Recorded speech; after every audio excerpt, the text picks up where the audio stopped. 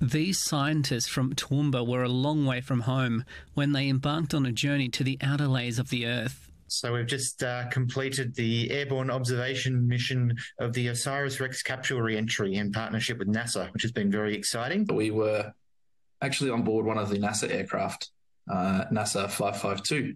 For the past six years, OSIRIS REx capsule has been collecting 250 grams of rock from the asteroid Bennu, which is 4.5 billion years old. This was a daylight entry which hasn't been uh, attempted before for a, a, scientific measurement of this kind. Uh, so there were unknowns about how intense our background signal was going to be. It was the first time a re entry has been recorded during the day. The capsule re entered the Earth's atmosphere above the Utah Training and Test Range at a speed of 12 kilometres per second. 60 seconds later, the mission was deemed a success. Ecstatic about the results. Um, far, far beyond what we uh, could have could have hoped for.